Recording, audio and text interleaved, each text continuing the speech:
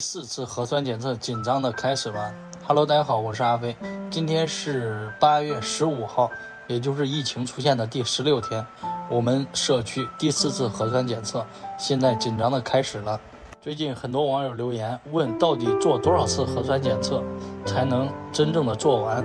官方报道，六院护士做了八次核酸检测，第八次才检测出阳性。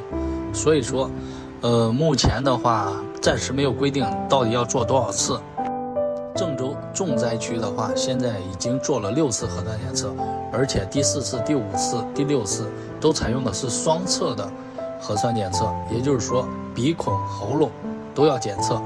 低风险地区呢，目前还是采用的是单侧，也就是说只测喉咙。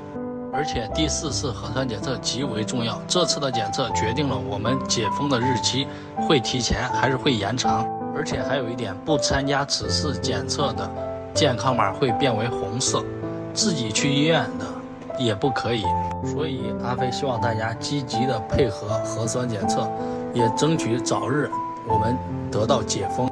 现在是上午的十一点钟，大家可以看到今天的太阳特别大。工作人员为我们的医护人员准备了两顶帐篷，也算是给他们遮挡一下阳光。真的是太热了，他们穿着厚厚的防护服，真的要为我们伟大的医护人员点赞。而且官方宣布，月底之前争取把新冠疫情消灭在河南，消灭在郑州，真的为我们河南的防控升级点赞加油。还有就是第四次核酸检测采用的是五人混检的方式。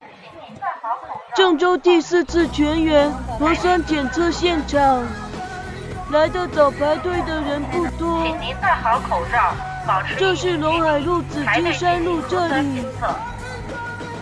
请您戴好口罩，保持距离。很快做完了。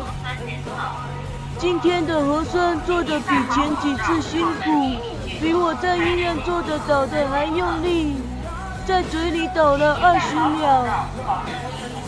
之前做的在嘴里两秒钟完事，喉咙都没感觉，这次非常有感觉。第四次核酸检测现在已经做完，阿飞相信这次核酸检测完毕以后会根本有效的控制疫情，我相信消灭疫情指日可待。今天呢，阿飞的视频就给大家分享在这里，有喜欢阿飞的请记得点赞关注，我们下个视频再见，拜拜。